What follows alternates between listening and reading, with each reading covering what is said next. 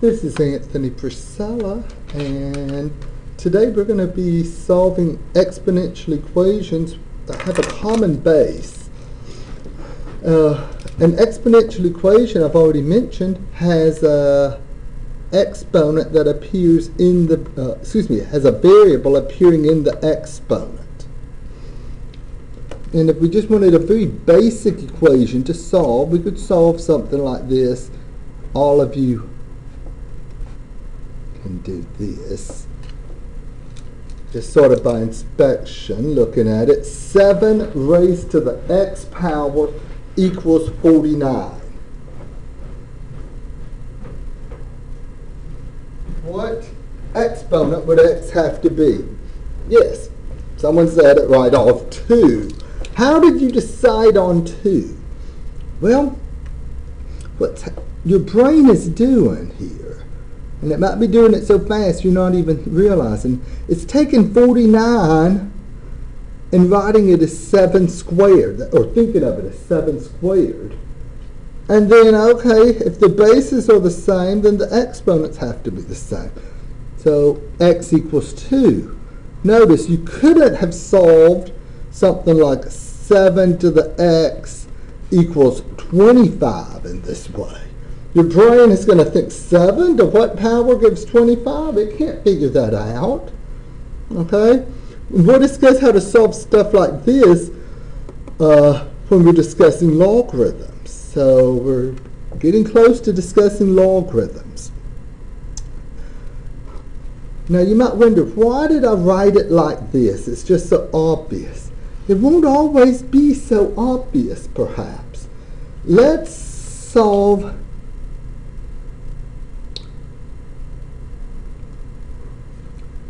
sixteen to the x power equals four. Hmm. 16 to the x power is 4. Well, looking at the larger number, I'm going to think to myself, can I write 16 as 4 to the power? And the answer is yes. I could write 16 as 4 squared.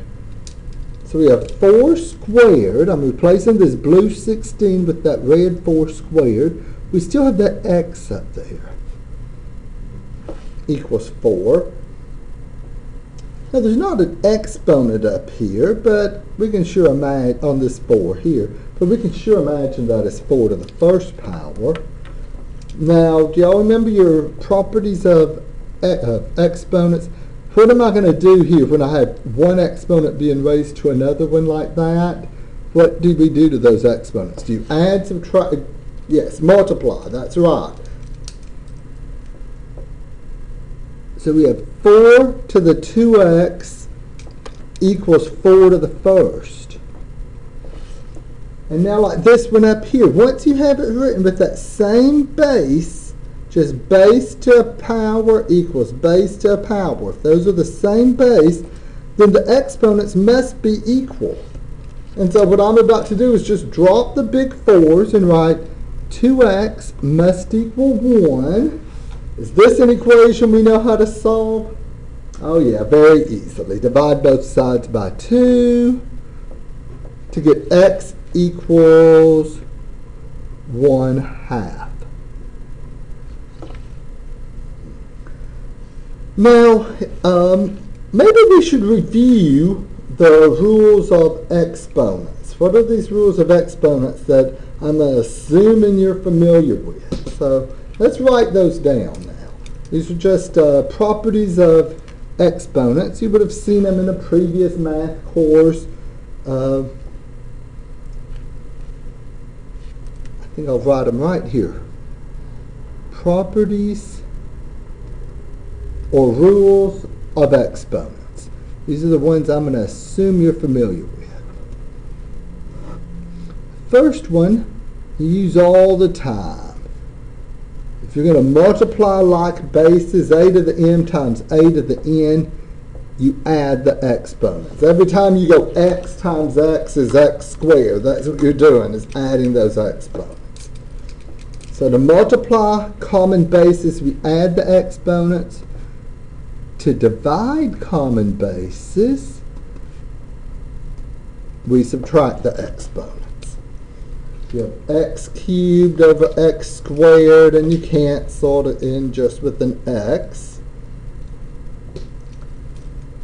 Third exponent, or the third rule is our definition of a zero exponent.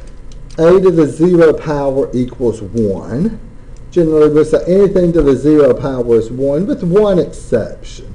0 to the zero power is undefined. If you try to punch that into your calculator, you'll get a undefined, not a, uh, not the number 1. The fourth rule is the one I used right here. Generally in algebra, to get rid of parentheses, you wind up multiplying something. And the same thing's true here. a to the m raised to the n, a to the m times n. Number five is our definition of a negative exponent. a to the negative n power, a negative exponent means 1 over. That negative exponent means 1 over a to the positive power. That's going to be very significant. We're going to use that quite a bit throughout all of this. So just make sure, let's see if I can do this problem. What's 5 to the negative 2 power? Don't say negative 10 or negative 25, whatever the common an wrong answers are. A negative exponent means 1 over and then just 5 to the positive 2 power. So 5 to the negative 2 is not negative 10. It is not negative 25. What is it? It's 1 over 25. And our sixth rule, definition of a fractional exponent. A to the 1 over n power. If you have an exponent in the form 1 over n, and we've used this before, a fractional exponent just means a radical. Okay? And this bottom number, that's the root. So a to the 1 over n means the nth root of a. If the exponent had been 1 half, it'd be the square root. If the exponent had been 1 third, the cube root. An exponent of 1 fourth would be a fourth root, and so forth. So these rules of exponents here, you need to get familiar with them because we're going to be using those a lot here and in our discussion of logarithms. Okay? You wonder what the heck the exponents have to do with logarithms, well, you're going to see logarithms are exponents. Okay?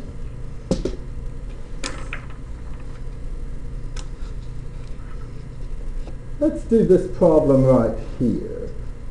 2 to the 2x minus 1 equals 16. Well, the way we're going to do that is to get the common base here our common base is 2. We got to rewrite a 16 with a big 2. How many 2's do we need to multiply together to get a 16? Well, if you're thinking 2 times 2, 2 times 2 is 4, times 2 is 8, times 1 more 2 is 16. 2 to the fourth power would give us 16. What's the bases are equal? The exponents have to be equal.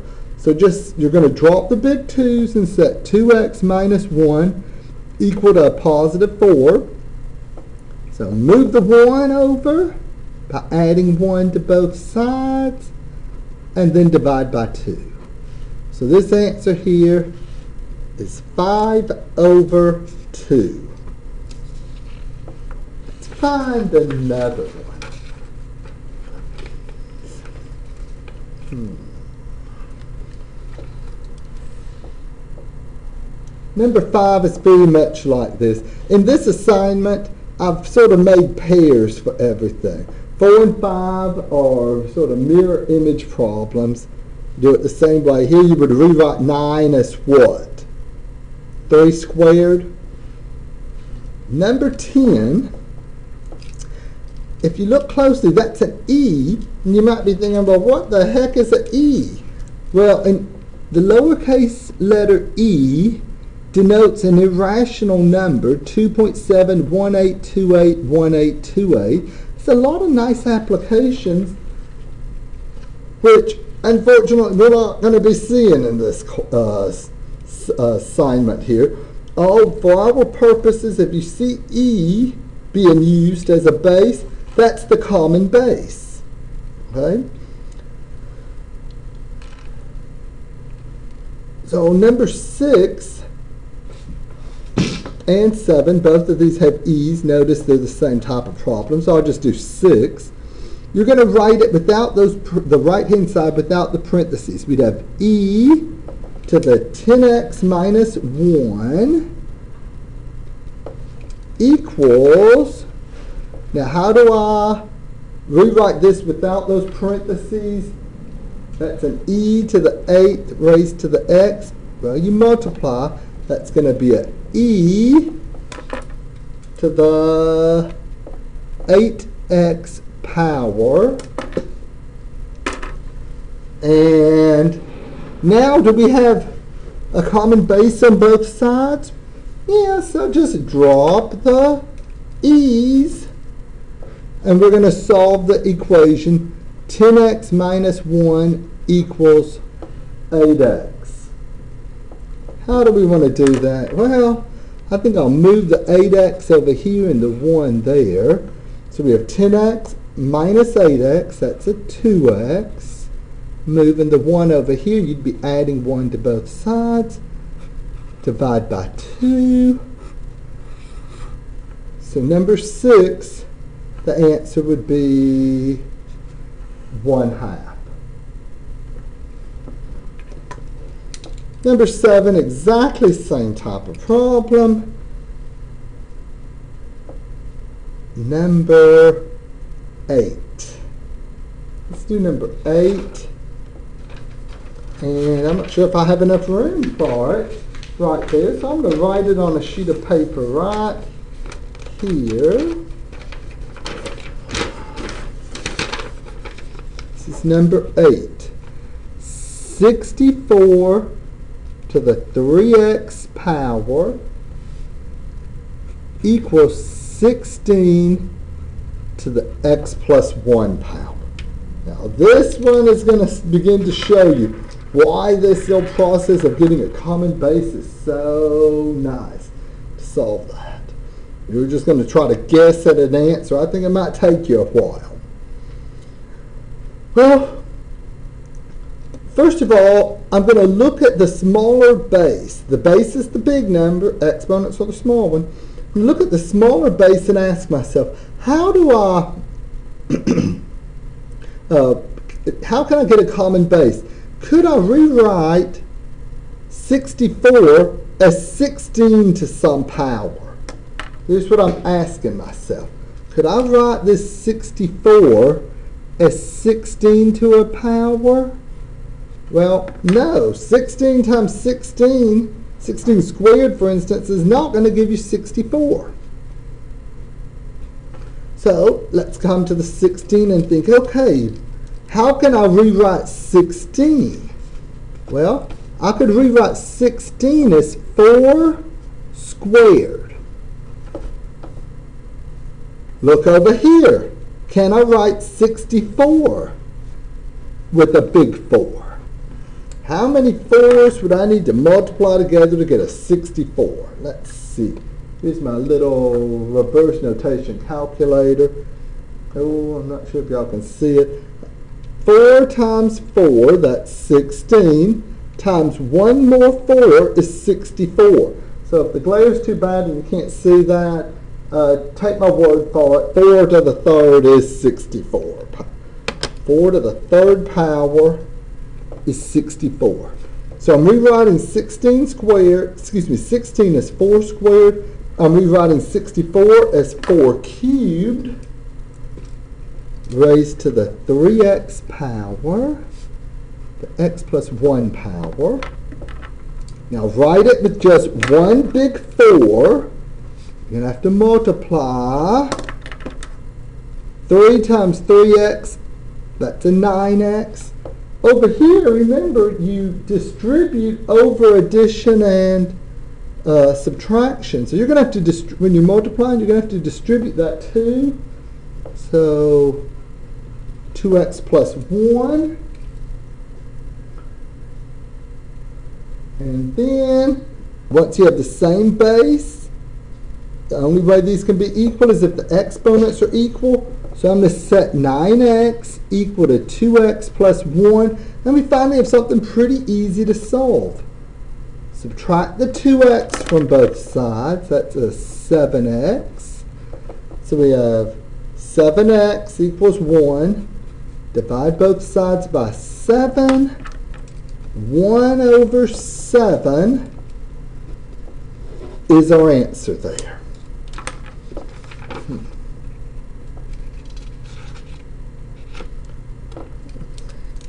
Let's take a brief break and then we'll return and do some more of these.